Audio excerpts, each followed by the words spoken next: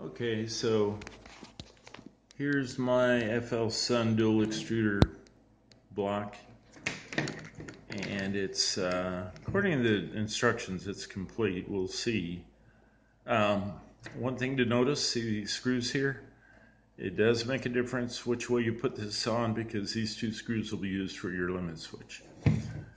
Then you use the same block that uh, comes in the kit for the Chimera or the Cyclops. It's got two holes on the, the bottom for your uh, hot ends.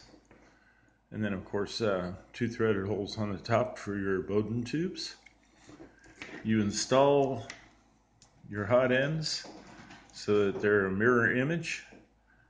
You do want a little gap between the two heater cartridges and ideally um, I'll probably be coming back with a piece of Kapton tape kind of folded into a T where the sticky part will stick against the metal down here and then come up between here and then come back down and go over here. And that will keep them from transferring heat from one uh, hot end to the other in case you're running at different temperatures. That will really throw your PID loop off. On one side, your uh, thermistor is going to be screwed in here. On the other side, it gets screwed into here. And another good reason to have that tape in there because you don't want to read the temperature from the other block if you're running them under, at different temperatures.